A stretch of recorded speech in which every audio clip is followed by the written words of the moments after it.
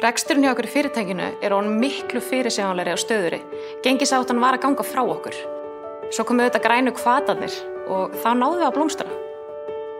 Þetta gæti verið raunveruleikin eftir fjögur ár ef viðreist fær að festa gengi krónar við evru.